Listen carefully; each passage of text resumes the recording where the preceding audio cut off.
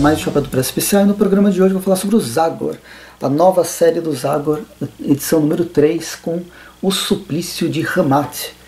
Aqui a gente tem as edições 638 a 640, de setembro a novembro de 2018, com texto de Jacopo Haut e desenhos do Sedioli com o Verne. Nossa, que revista legal! Eu vou, já vou dar spoiler, vou curti pra caramba a história. Assim, não é à toa que o Zagor ele é um dos personagens que mais é, conseguiu ter penetração nos Estados Unidos. O Zagor, embora ele se passe numa, no início do século XIX, a, o tipo de história que ele apresenta, né, o tipo de narrativa, os vilões que ele enfrenta, até as interações que ele, que ele propõe com, com vilões e com outros personagens, ela é muito pautada em super-herói. Ela é muito pautada numa era de prata dos super-heróis. E aqui a gente tem justamente uma, uma história de aventura, não uma história de super-herói, mas uma história de aventura com algumas pitadas de, de do, dos super-heróis, efetivamente. Em determinado momento, na verdade, tem um vilão, um capanga que aparece que poderia ser um parente distante do Croc do Batman. O próprio Zagor entra no plano das viagens astrais para salvar o Hamat. Hamat que é um dos personagens que eu acho mais interessante do universo do, do Zagor, um personagem que não é, não aparece sempre, mas ele é recorrente. Vez ou outra ele está ele tá surgindo, inclusive ele é um dos únicos, acho que da, do universo da Sergio Bonelli que ganhou uma revista de origem. É isso aí os, os universos, né, as, as, revistas da, da Sérgio Bonelli Editore, essencialmente sempre tem um personagem, normalmente o título, da, do, o título do título dele da revista é o nome desse personagem, e ele tem um ajudante que às vezes é mais presente, às vezes é menos presente. Não é 100% regra, por exemplo, a Júlia não tem um, um personagem acessório, como o Zagor tem o Chico, como o Dylan Dog tem o Grosso, o Martin Mister tem o Java, ou o Tex tem todo um grupo de pares que acompanha ele. Mas esse tipo de parceria que as revistas apresentam também trazem, transformam esses sidekicks em personagens não tão importantes. Às vezes eles só fazem piada, às vezes eles estão lá para fazer gancho pro, pro personagem, pro protagonista poder falar os problemas, falar da vida dele, contar um pouco da história de onde eles estão, de onde eles estão se enfiando. O Chico ele muda um pouco, um pouco disso, porque ele salva o Zagor várias vezes. Ele é o alívio cômico, não deixa de ser o alívio cômico, mas ele salva o Zagor várias vezes e nessa história, inclusive, ele tem uma participação muito importante para não deixar o Zagor morrer. Em outras séries da, da Bonelli, a gente tem esse protagonismo dividido. Mágico Vento é um dos melhores exemplos que o, o Ned e o Paul, eles são os dois protagonistas da história. Embora Mágico Vento seja o Ned, o Paul ele tem uma importância muito grande dentro do cenário que está se contando. Mas além desses, desses é, sidekicks, com maior ou menor presença, a gente tem outros personagens que vão aparecendo de vez em quando. A Mirna, por exemplo, no, no, no universo da, da Júlia, é uma antagonista que, vez ou outra, aparece. E se eu não me engano, recentemente na Itália, a Mirna reapareceu e a Júlia quase foi dessa para melhor, ou para pior, não sei, depende da sua linha de pensamento. E ela também tem um elenco de apoio recorrente que é interessante. Mas o Zagor, com essa linha mais era de prata, quando ele traz outros personagens, outros heróis também, com superpoderes às vezes, que ele interage, eles têm um papel de importância ainda maior. O Ramat é um deles. Nossa, todas as histórias que ele aparece é, envolve alguma coisa de viagem astral, alguma coisa de magia, porque ele é um indiano com poderes hipnóticos, tem todo um lance com a religião dele e vários deuses acabam acabam aparecendo nessas nessas interações, às vezes em maior, às vezes em menor grau. Sempre tem esses grupos, os Tugs, por exemplo, são grandes vilões do Hamat e que aparece ou do, do Zagor, mas que aparece sempre quando o Hamat está junto. E é bem legal essa interação. Mas eu estou falando tudo isso porque o Hamat ele é um dos únicos que tiveram história de origem. O Chico, por exemplo, tem uma série só para ele. O Hamat, ele não é um sidekick. Ele é um, um herói que poderia ter suas histórias próprias, suas, suas aventuras próprias, mas ele teve uma história de origem que foi publicada em 99, lá no, na, na, na Zagor Speciale número 11, mas aqui no Brasil foi publicada dentro de Tex e os Aventureiros. Eu já comentei sobre, esse, sobre essa revista no canal, acho que foi a edição número 2 ou 3, alguma coisa assim, tem procura os vídeos aí que eu já falei sobre ela. Enfim, eu tô tudo, toda nessa, nessa emoção porque eu gosto bastante desse personagem. E em geral ele tá passando num dos piores, nas piores situações e o, o Zagor tem que ajudar ele. Mas o Zagor recebe esse chamado sempre de forma psíquica e é isso que acontece nessa história. Eu não quero entrar é, completamente na história para não contar tudo que acontece nela.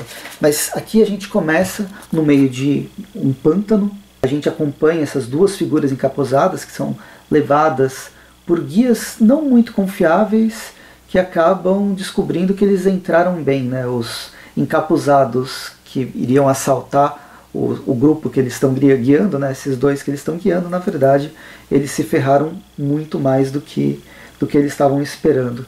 E é nesse momento que se revela o primeiro personagem mais fantástico que é esse, esse carinha aqui, que é basicamente o Croc do Batman.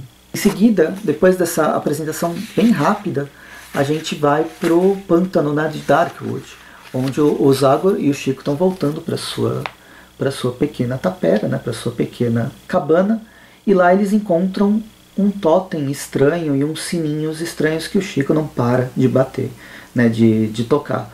E nisso começa a vir um monte de cobra, um monte de serpente do pântano e invade a cabana deles. Eles tentam se, se salvar do, do jeito que pode.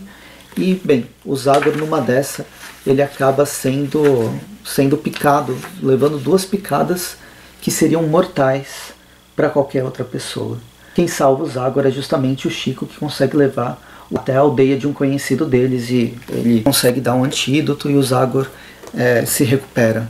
Mas toda essa introdução ainda não é suficiente para a gente entender o que está acontecendo. A pista mais contundente que a gente tem é um sonho que o Zagor tem enquanto ele está delirando por causa do veneno do Golden Boy. O Golden Boy é um barco que caça baleias, né, um baleeiro do Capitão Fishleg, e lá tem várias pessoas bastante peculiares. Eles são vários personagens bem interessantes, cada um com características muito próprias e que são exploradas ao longo desses vários encontros com esse Golden Baby.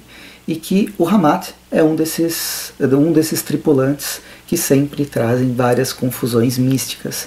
Bem, o que acontece é que o Hamat ele desapareceu e ele precisa da ajuda do Zagor para ser reencontrado.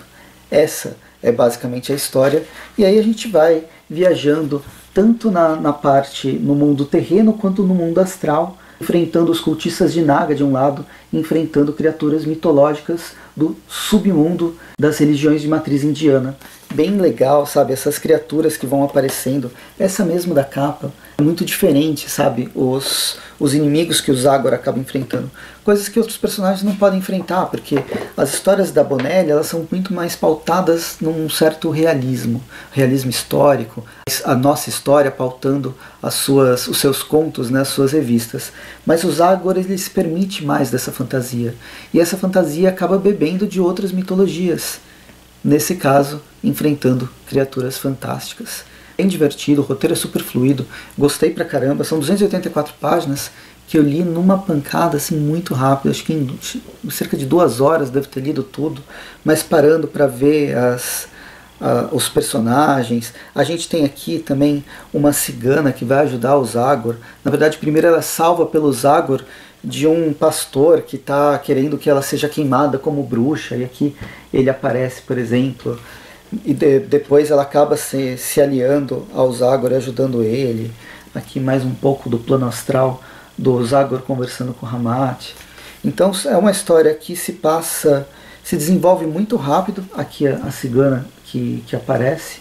É uma história que se passa muito rápido, tem vários, várias interações, várias criaturas fantásticas. O Hamat sempre que sempre que aparece uma criatura diferente, ele acaba falando o nome dela, então vale a pena até pesquisar né, no, na, na, internet quem são essas criaturas, então a gente amplia muito mais o nosso conhecimento.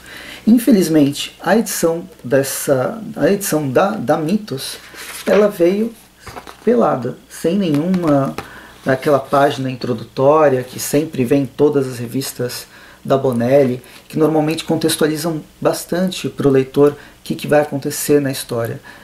Em geral, eu leio depois para não levar spoiler nenhum, mas nesse caso, provavelmente, o autor deveria falar um pouco, ou o editor deveria falar um pouco sobre Golden, os Golden Boys, né, os, os, a tripulação desse, desse navio, ou sobre o próprio Hamat, ou sobre esses seguidores de Naga, ou até qualquer referência que fosse fazer a filmes, séries, quadrinhos e qualquer coisa assim. Sempre esses textos são, são interessantes e ajudam a compor e a engrandecer mais a própria obra em quadrinho. Infelizmente não teve, mas ela se sustenta sozinha e ela é bastante divertida. Gostei mesmo dessa, desse terceiro número. Na verdade, gostei mais do terceiro do que do segundo. Lembrando que esse terceiro tem as edições 638 a 640 do Zagor, da mensal do Zagor italiana. E ela vai, ela é, é um número a menos do que a edição número 2, que teve as partes da 638 e depois ela pulou para 641 e 642. Teve esse rearranjo para ajustar, né, tentar deixar as edições do Zagor do Zagor Nova Série num tamanho mais próximo um do outro, para não ter edições com 300, edições com 200 páginas. E foi uma jogada interessante, foi uma boa jogada, porque trouxe uma história completa. Trouxe uma história completa, duas histórias completas, na verdade, na edição número 2, e uma história completa na edição número 3.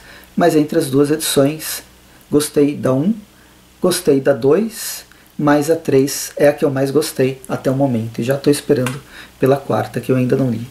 E é isso, eu vou ficando por aqui, espero que tenham gostado do vídeo, curtam o vídeo, assinem o canal, assinem o do Preço Facebook, me sigam no Instagram, arroba onde eu falo sobre filmes e séries todos os dias com resenhas novas.